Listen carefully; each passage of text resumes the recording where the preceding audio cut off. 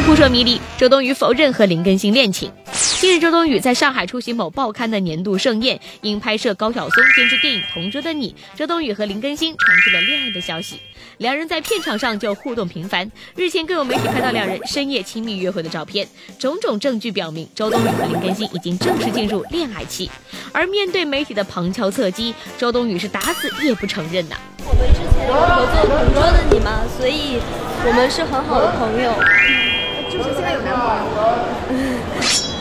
虽然周冬雨摇头否认，但有图有真相。你们真的只是普通朋友那么简单吗？山楂树女孩，你真是太单纯了。